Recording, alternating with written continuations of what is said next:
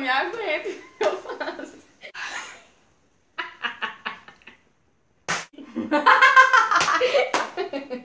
Luz, câmera e ação. Luz, câmera, ação!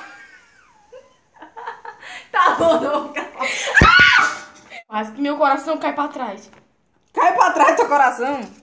Luz, câmera, ação! Oi, oi, princesas. Meninas, o vídeo de hoje é muito diferente. Eu vou fazer um spa day em casa, tá? E eu confesso pra vocês que eu nunca fui de cuidar muito da minha pele. E de uns tempos pra cá vem surgindo muitas espinhas e carocinhos no meu rosto. Então hoje eu vou trazer a minha experiência pra vocês do que eu estou fazendo pra tentar melhorar isso, tá bom? Eu prometo pra vocês que eu vou estar usando produtinhos baratinhos e bons, tá bom? Então se você quer saber os produtos que eu tô usando, é só continuar assistindo. Então vamos lá, meus amores. Eu começo prendendo meu cabelo e coloco essa tiarinha para não molhar meu cabelo, tá? Começo molhando meu rosto e começo aplicando esse sabonete da Natura Taste, que é maravilhoso.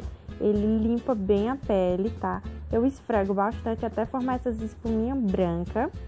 E ele matifica a pele também, ele é muito bom, tá? Ele é super em conta. E depois eu enxagoo e enxugo meu rosto também.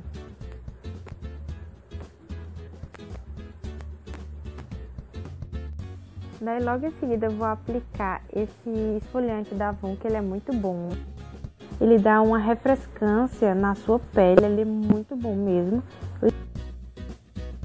E logo após o enxágue, eu vou usar essa máscara de pepino, que ela é muito boa da Avon. Aplico em todo o rosto e espero 10 minutinhos. Após os 10 minutos eu venho e retiro toda a máscara do meu rosto. Vai sair tipo umas pelezinhas assim mesmo, tá? E em seguida eu venho com essa máscara pro nariz, que ele retira cravos da Avon também, ele é muito boa. E eu aplico somente no nariz para retirar os cravos, tá? Então eu espero mais 5 minutinhos. Daí eu retiro também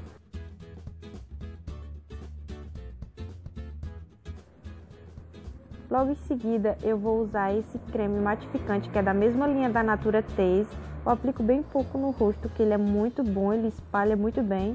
E ele matifica a pele, ele é muito bom, gente. E logo em seguida, para minhas olheiras, eu vou estar tá usando esse creminho da Avon.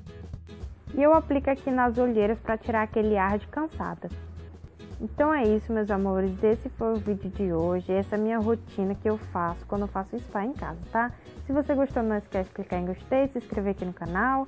Um super beijo e até o próximo vídeo.